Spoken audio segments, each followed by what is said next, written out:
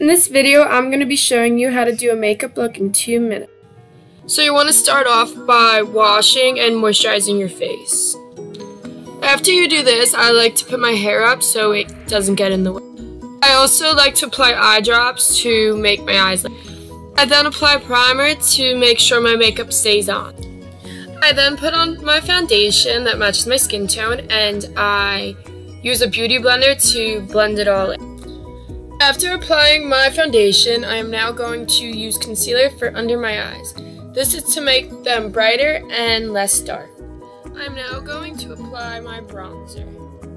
I personally like applying my bronzer on my cheekbones on each side and then I like putting it on my eyelids to my eyebrow just to add a little more color to my face.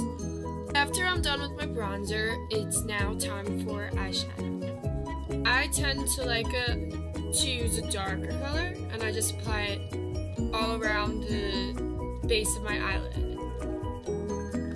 After doing this, I now take a lighter color and put it in the corner of my eyes and then I just kind of move it all around to just lighten things up and make it shine more. Now I'm going to curl my eyelashes and apply mascara.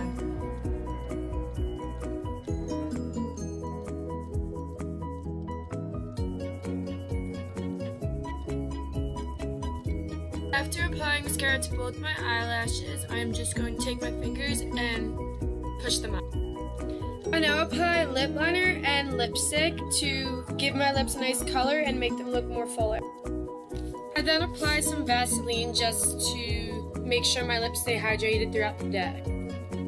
And now to finish up the look, I just apply some setting powder to make sure my makeup stays on and I don't appear greasy or oily.